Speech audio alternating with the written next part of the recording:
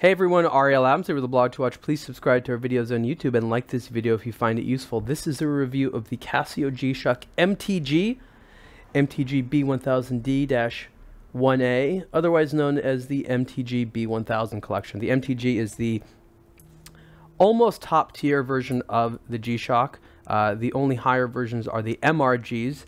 MTG basically stands for Metal G-Shock. There are other Metal G-Shocks here, but this is the highest highest end metal G-Shock under MRG. So it's the second highest end G-Shock.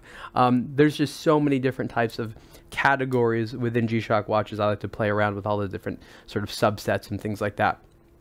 One of the things that impressed me when this version of the MTG first came out was the wearability.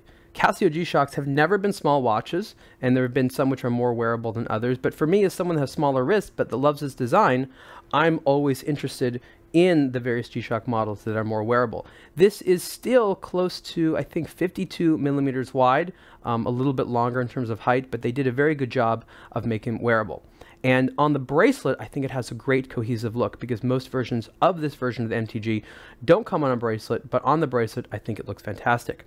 And what Casio is able to do is com combine steel with other materials such as their polymer to create something which is durable, comfortable to wear, water resistance of 200 meters.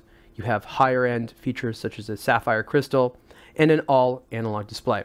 I want to show you, for example, here on the lugs, how they it's an articulating hinge style lug that works very well in terms of making the watch comfortable on larger or smaller wrists.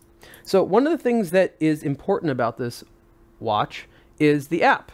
Yes, this is a Bluetooth connected watch. It also has um, the ability to sync with signals from the atomic clock. But I really want to focus on the Bluetooth element because with this generation of the MTG, and this and this goes for some other Casio G-Shock models as well, there's a real there's a new way of using them. So you see here, here's the app. So I'm pushing this pusher down for a second. Three and a half seconds.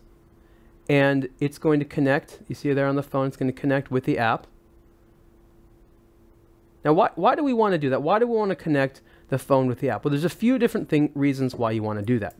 The first thing is that this watch has alarms, a, a stopwatch, timers, calendar, various different types of things which to set are not the most straightforward process on an analog dial. You have a lot of systems that make it relatively straightforward to set everything if you have the instructions, but to really set the watch, you really want to use the app. It also has the ability to update uh, the watch with new software, such as for, for time zones and things like that.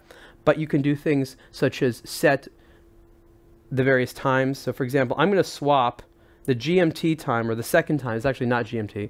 I'm going to swap the second time zone in this lower subdial that has two hands with the main one. So I'm going to go in the app here. It's switched. And then I have to say send to watch. And there we go. So now my settings have been updated.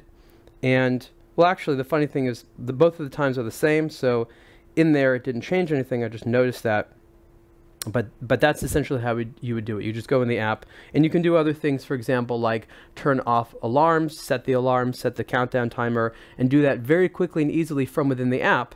But most importantly, I think the app is going to be useful because that means you never actually have to set the watch yourself. Using Bluetooth, it'll update the time.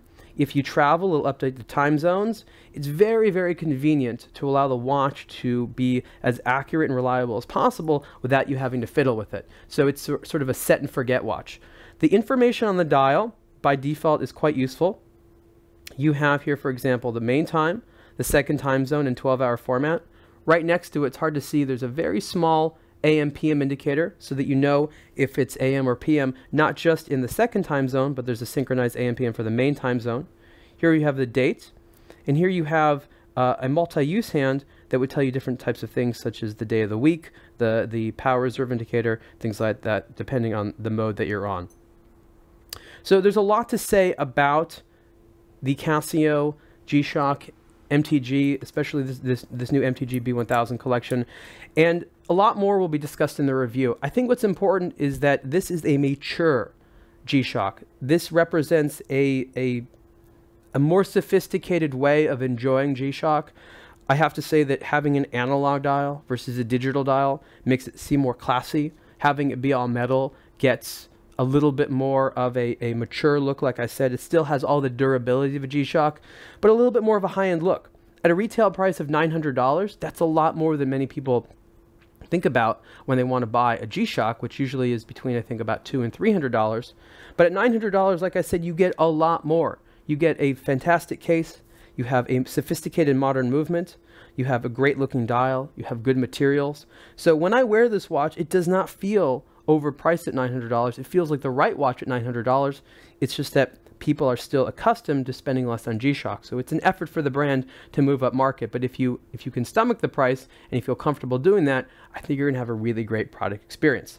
There are different versions of the MTG B1000 and you can look at all those online and you can see the re full review of this G-Shock MTG G, G, MTG B1000D-1A on a to watch. Thanks so much.